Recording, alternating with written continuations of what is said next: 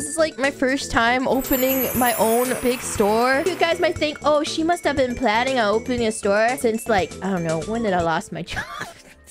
It was literally two hours before my return stream. I was like, Mr. Man, I don't have time to prep for my return stream and do my store. Can you do the store? And Mr. Man was like, yeah, I think I can do it. So store launched and then we realized the shipping for stickers was like $20. It was my decision to pull the store down immediately. Mr. Man was like, oh yeah, we can try and fix it while the store is still up. I was like, no. Why are they paying $20 for shipping for a fucking sticker!